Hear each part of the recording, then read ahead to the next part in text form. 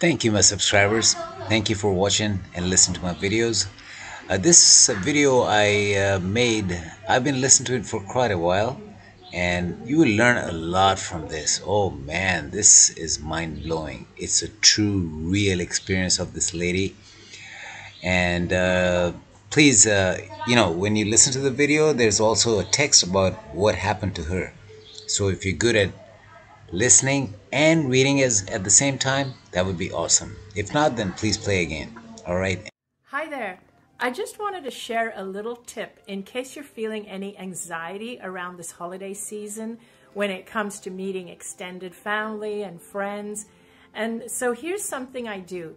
If I'm a little concerned that I'm going to be meeting people with um, diverse viewpoints and I'm uh, maybe concerned about possible conflict or people I haven't seen in ages, a little exercise I do is that before the event, I actually visualize my soul communicating with their soul. And this is particularly helpful, and I swear it really works if you're anxious about a specific person who maybe you've had a conflict with before and you're going to have to face them during this holiday season. So what I do is I imagine my soul speaking directly to their soul. So don't think of their physical body.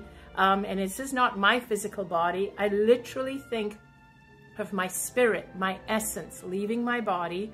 And I think of their spirit and their essence leaving their body. And, and our spirits are communicating with each other. And as you know, our spirit is only filled with love.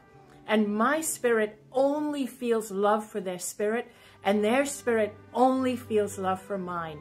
And I bathe in that feeling and in that knowing that their spirit truly loves mine. And then I visualize a conversation between my spirit and theirs where I can take the conversation somewhere where the outcome is something that I really love and makes me feel really good. In other words, I will visualize their soul saying to my soul exactly what I want to hear. And it'll be something that makes me feel really good. And once I'm satisfied with that and feel and I'm feeling really good with, with, with that conversation, I then let it go. And what I've found whenever I've done that with anybody I have a conflict with, what happens is the next time I meet them, I feel our energy is completely different.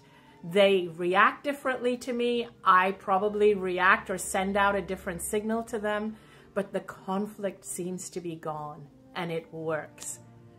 Thank you for tuning in. I hope it helps. Bye.